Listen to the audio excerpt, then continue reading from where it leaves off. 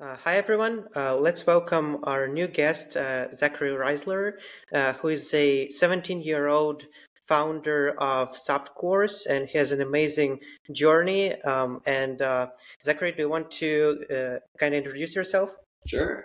So I'm I'm Zachary. I just turned 18 a few days ago. So uh, um, now actually in the international world. Um, I've been doing business and entrepreneurship since I've been 14 years old ever since COVID started. And it's really been quite a journey, and I'm excited to hear a little bit about your story. But my story is pretty interesting. Um, just started out with e commerce, but turned into more of the startup scene and the traveling scene. And, um, you know, it, we'll see how my future ends up. But for now, it's been very exciting to see the amount of work I've been putting in at a young age and seeing where that could get me. And you're still in the high school, right? Yeah, I'm still in high school, yes. Yeah. Uh, do you plan to go to the college or just continue with your business journey? Yeah, that's been the biggest thing. I've talked to so many adults in the business world about this and to my parents and family, and everyone has different opinions. People think to go to college, get the degree, and, you know, actually make something of yourself in, you know, the corporate world. I have always been against college for a little bit, um, especially in America, because maybe where you live in Europe, college is very cheap. You can go to college for maybe a couple thousand dollars a year.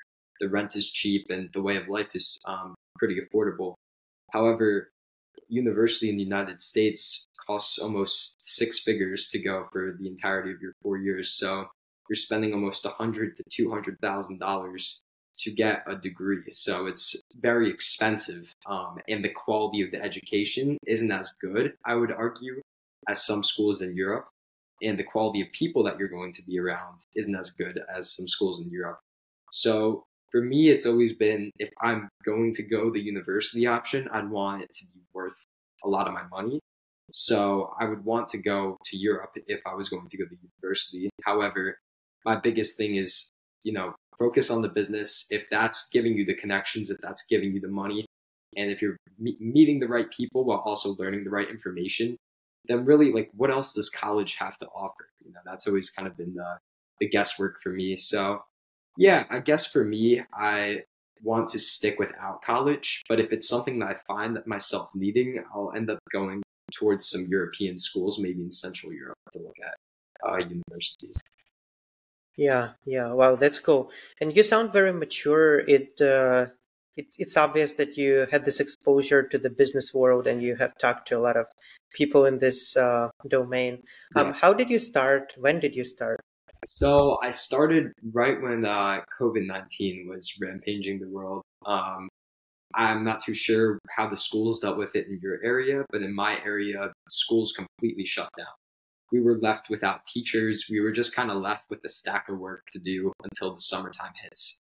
And from April until September, I really had nothing to do. So there were a couple options. I saw my friends kind of go down the route of scrolling on social media and playing video games. I didn't want to do that. I wanted to make the most of my time. And I was kind of looking at some different ideas of maybe starting my first business at 14 years old, which I guess like it's kind of hard for the average 14 year old to like say, oh, I want to start a business during um, COVID. But for me, it's something that I want to keep myself busy with. I saw this massive space called drop shipping and I was really intrigued by it and I wanted to start my own product and maybe make a tiny brand out of it over the course of COVID. And I started my first product. It was called an Infuse-It bottle. It's basically a water bottle that you could infuse fruit with in the bottom and you could shake it up and it would make um, these delicious like fruit flavored waters that actually tasted really good and really healthy for you. And I found that product on AliExpress and I made a brand out of it. And over the course of a few weeks, when COVID was first starting, I was making a lot of social media content, making my website, and I was able to profit almost $700 one month from the business at 14 years old. That was money I've never seen before in my entire life at that point. So for me, being like getting the $700 in one month, I was like, man, maybe this is possible for me to not go down the average path and to start these businesses because I like doing this stuff. Like I really liked promoting this product and I really enjoyed it. I thoroughly enjoyed it. So for me, it kind of just kept going um, with this brand for until like um, the middle of COVID. I was buying a lot of products. I was buying supplies, um, doing my drop shipping, and I was making a decent amount of money until I finally realized maybe I buy this in bulk, so I'm not um, spending so much money per product. And I end up buying 500 of these water bottles in bulk. Um, the cost is $3 a bottle, and I was selling them for around $10 a bottle. So it was a $1,500 US investment. And I decided to pull the trigger and just invest all my money in these water bottles so I can sell them over COVID and make more money on each margin of the product. These water bottles show up to my door and I can't sell anymore. So I'm stuck with $1,500 worth of water bottles in my garage and I'm not able to sell anymore because I've already sold to all of my market, like all to all my family and friends. Nobody wanted any more water bottles. I was stuck with all of them. So it was really difficult. And that was kind of my first business failure of saying, hey, look, here's my garage. I have tons of this product and I have no idea what to do with it. And I kind of built myself back up from that, just doing different businesses and stuff. And I ended up just donating the rest of those water bottles. But yeah, that was my first initial business story of really understanding what it was like to succeed and then fail. And then, um, yeah, you know, kind of build myself back up from that. Wow, that's an amazing story. It reminds me of some of those Shark Tank story, stories, yeah. you know? Yeah, yeah that it, it's amazing that you did that at like yeah, uh, 15 like, years old. For me, just to fail and understand what that felt like at 15 years old or 14 years old, I mean, that is so powerful, you know? And the fact that my parents did not want to help me out at all, they were like, this is your money, we're not giving you any of this and you know you just end up failing but i guess the true key for any entrepreneur is like when you fail um, a true entrepreneur wants to build himself back up from that and learn from their failures. I know a lot of friends who have tried to help out with starting their own businesses. They hit one roadblock and they can't do it. They need someone else to tell them what to do. But for me i guess that failure was a true testament um, to my entrepreneurship. At 15 years old i was like hey even though i failed at this I want to still build myself back up. I want to build myself back up and I want to figure this out on my own. And I was able to do that um, at such a young age to the point where I was like, maybe I just fully invest into entrepreneurship and see where that takes me. Yeah, this is crazy. Uh, yeah, I do agree with that because um, what I've realized in my uh, journey is that um, the um, like the speed uh, of moving on uh, from the terrible situation or just something not working out like the faster you move on the uh, more chances you have of succeeding in the future. Uh, and uh, some people just don't move on. They just stuck in that kind of mental mind that they are fail uh, they failed or whatever. And that is just something that you have to overcome. Exactly. It's something that you have to overcome and it's something that you have to learn constantly. It's just a constant learning process. But I didn't let that just keep me down. I wanted to keep going with this. I knew this model worked, this drop shipping model worked. I made the tiny bit of money from it. And I realized maybe I could do this on a bigger scale. So we were testing different products, me and another friend of mine. We were testing products um, around 2021, 2022 ish. And we were going and we were posting these videos on TikTok and a few of these videos completely blowed up. Like we had videos that got 14 million views. We had accounts that had hundreds of thousands of followers for these different products. And that was the first period of making five figures in a month, so over $10,000 a month, um, doing this e commerce stuff. And for me, that was completely mind blowing because I went from failing in that position to, all right, let me just keep going. And then that period of you know keeping on going even though i wasn't seeing any immediate success i just kept going and i kept trying. And through that experience i was able to kind of make something out of that and be successful for a short bit. Um, so we were really able to grow some of these accounts and kind of grow our e-commerce portfolio. And we had a few different products that were making us a decent amount of money per month um, just the amount of revenue and stuff. It was really like something I've never seen before. I always would see those gurus on social media talk about, oh, it's so easy to make this amount of money per month. And I was like, no, it's not. There's so much like there, there's so much to it. And I didn't believe that they were making that amount of money. But truly, I realized that if you actually put in that work, um, it's possible. And we were doing it. But the one thing the gurus don't tell you about is the more money you make, the more problems you have to face, and the easier it is to lose everything. So when we were doing really well in our e-commerce, we would have to deal with so many issues. Like our supplier was, um, as we were ordering more and more quantity of the actual item, it's becoming way harder to work with them. Some customers would take months to deliver a product, and it was really just a pain in the butt, to be quite honest with you. Um, a lot of customers, they would be very underage, like they would be 12, 11 years old ordering these products off of their mom's credit cards. So we would get an amazing amount of chargebacks on our site. So people who are refunding these on their credit cards, and we would have to deal with not making profit that much and like spending out of our own personal expenses. So even though you would see the big $10,000 in revenue, it was really a lot of my personal expenses going and fulfilling these products because we were getting so many of these customer refunds and it was the cost to actually run the advertisements and the cost to fulfill the products. So, and taxes on top of all of that too. It was very difficult as we start to scale up, which caused us to stop with that immediately and to look towards other solutions. So I knew I was good at the marketing side of things, but I was really bad at the back end side of things. So I figured why not just invest into what I'm good at and leave the back end stuff for someone else to do. Yeah, yeah, totally makes sense. And do you want to go a little bit more specific into the drop shipping business model? Yeah. Maybe if you can kind of just describe more specifically what you did, uh, sure. how did that work?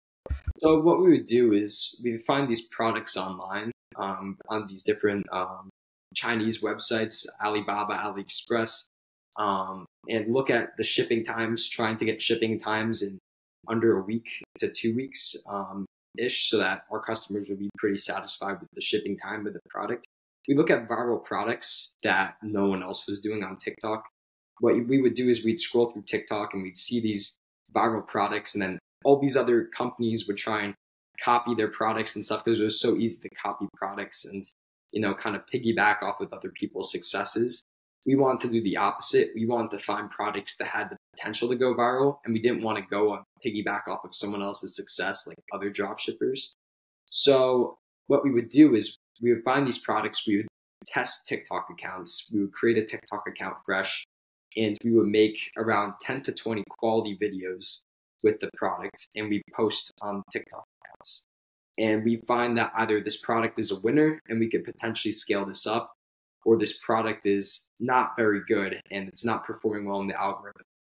The issue is if you get a product that is very successful on TikTok, um, a lot of other companies and a lot of other people will try and piggyback off your product because it's a public product. Anyone can go and post it. It's really drop shipping. So it's very easy to steal other people's product. So when I would post um, a brand new product and it would get a million views, probably 20 or 30 different people would try and make their own stores and their own versions of this product and their own videos. And maybe sometimes that would steal from my success.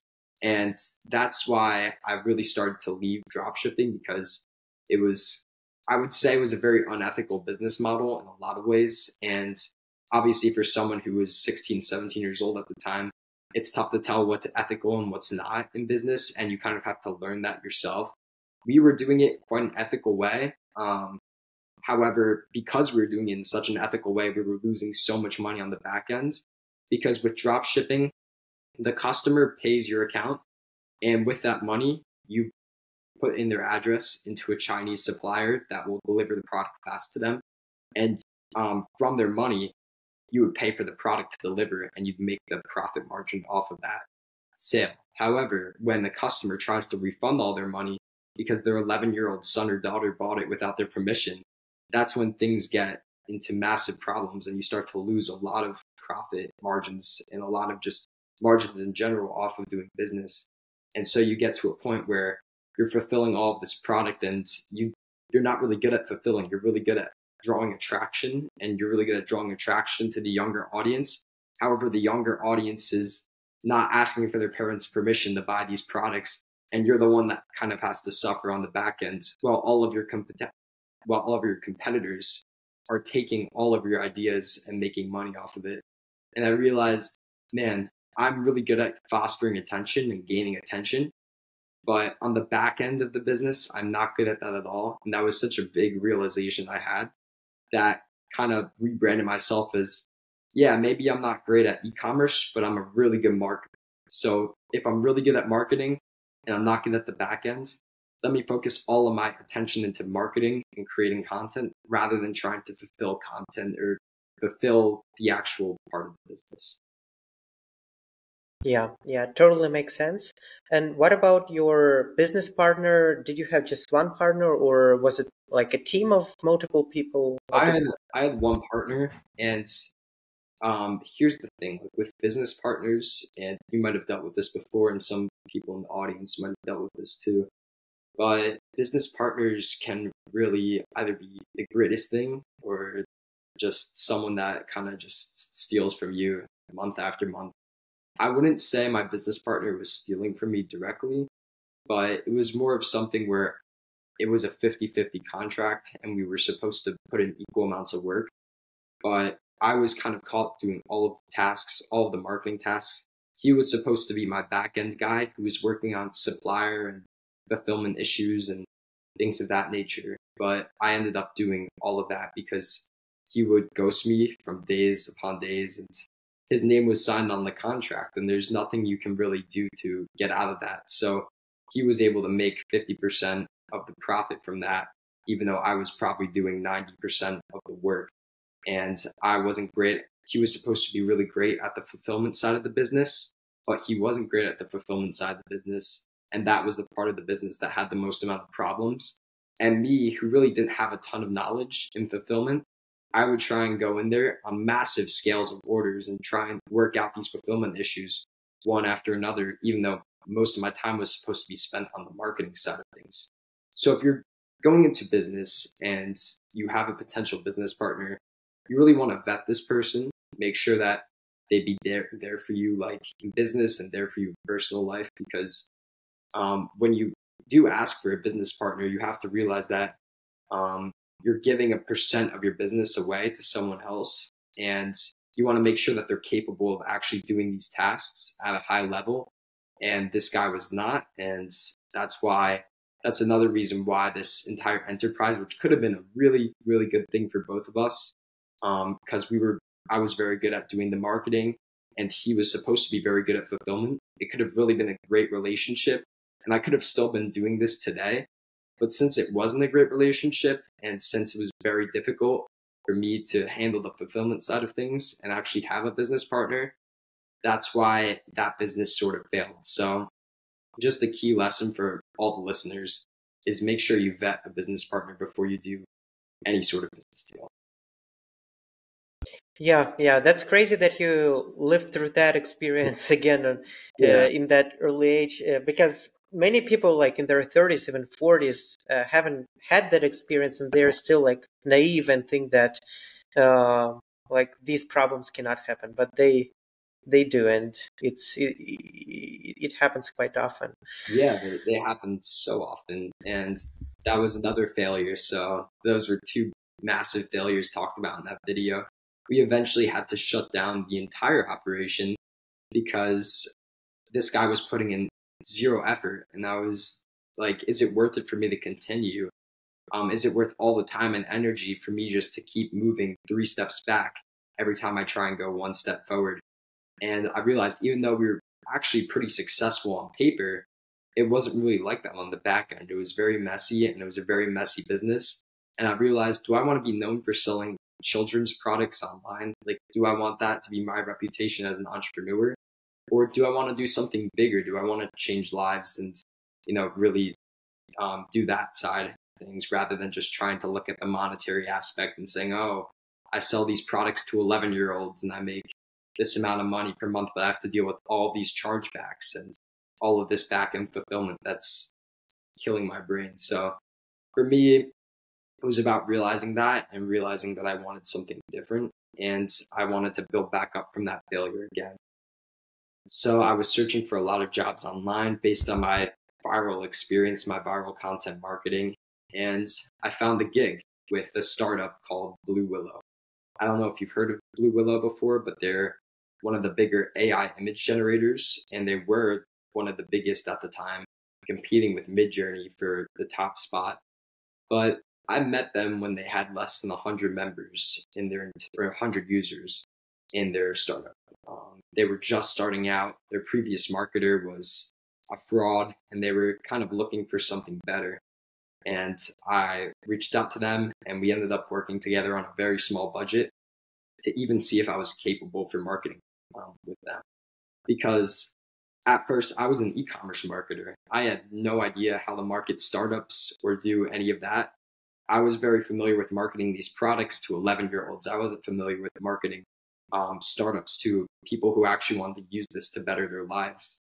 So we kind of went into it. I was struggling for around three weeks, figuring out different strategies to market for them and help them blow up their startup to people who were AI enthusiasts who wanted to generate these images. So around three weeks in, I realized I was targeting the complete wrong crowd. I was targeting people who have never heard of AI before and didn't understand AI at the time. Now everyone understands AI, I hope. But at the time, nobody really understood what AI was unless they were involved in projects like Midjourney or OpenAI and different projects like that.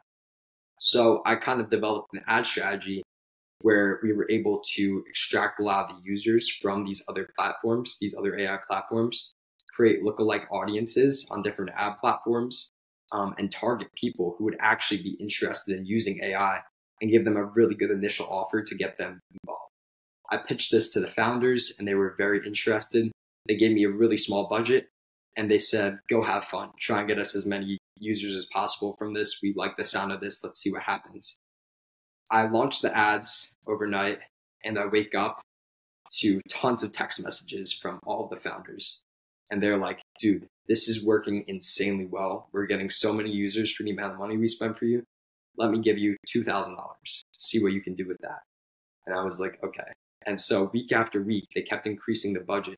It turns out these guys were extremely wealthy. Um, they sold their startup. They had like a healthcare startup um, or something like that. They had a ton of money to their name and they wanted to put all that money into advertising. They kind of gate capped that information from me at first because they didn't entire, entirely trust me as a marketer, but they wanted to see someone who could actually perform.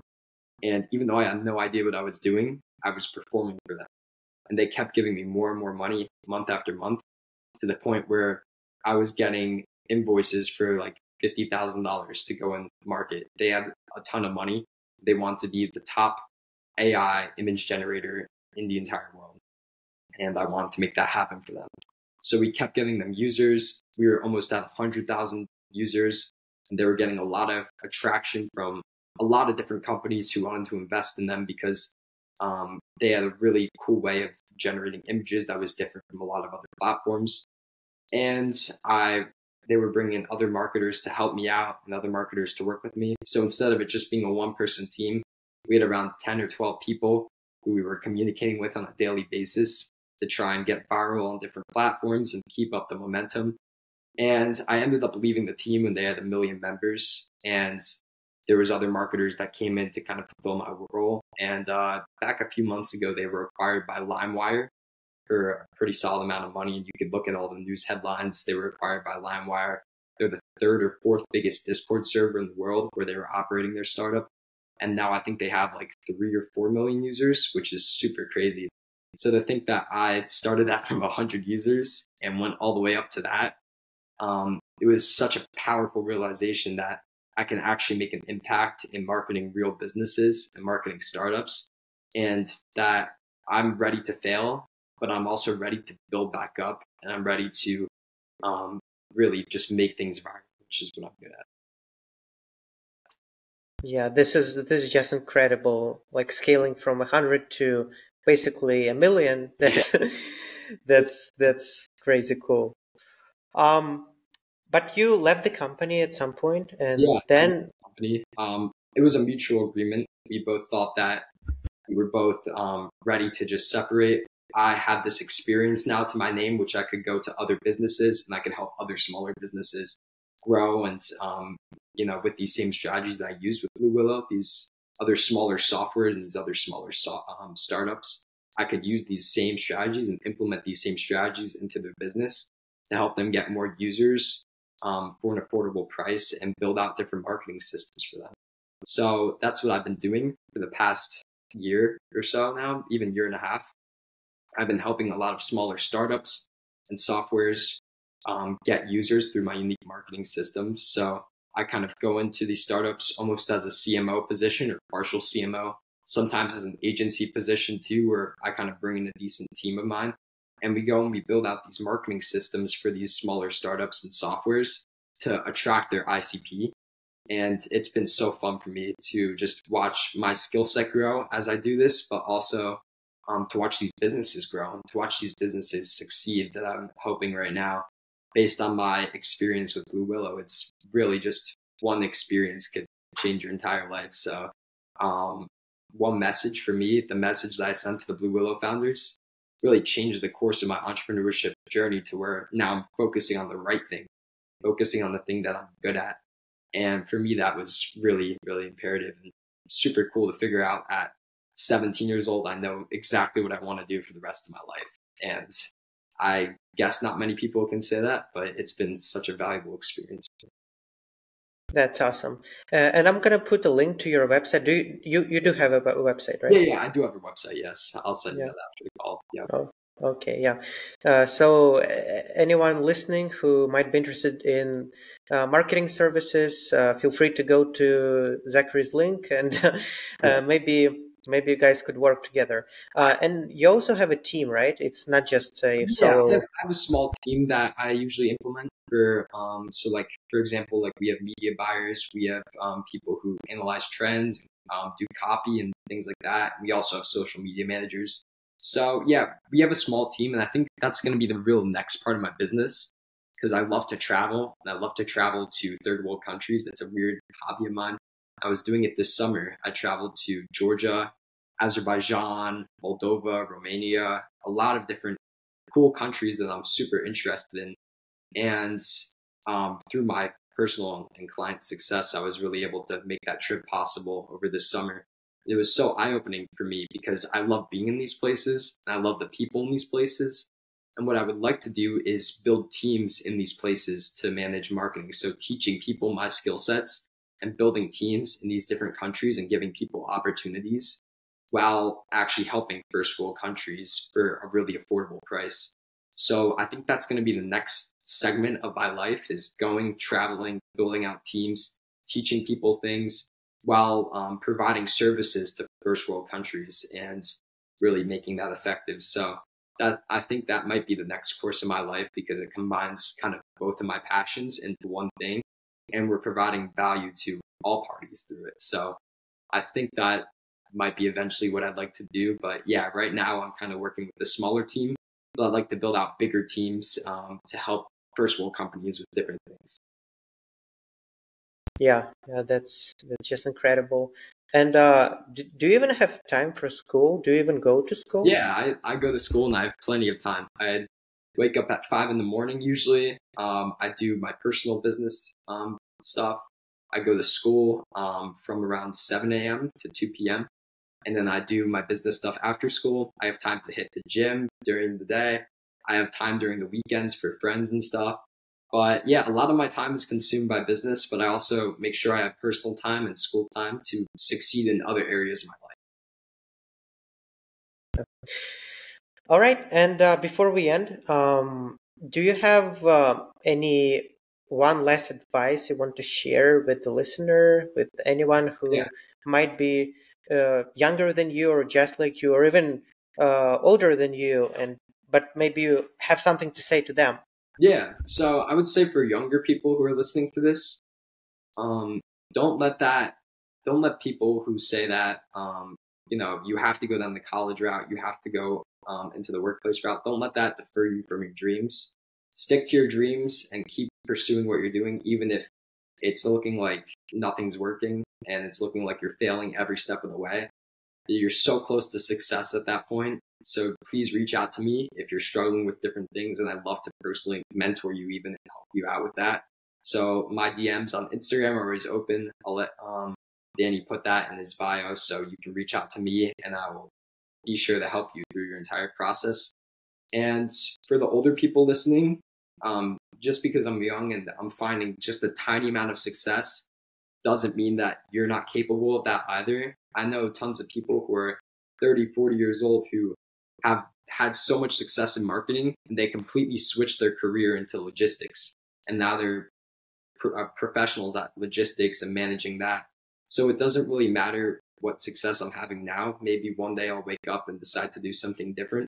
But it's that drive that you have to have inside of you where you wake up early, you get what you have to do done in your um, professional life, and you enjoy a very fruitful and happy personal life.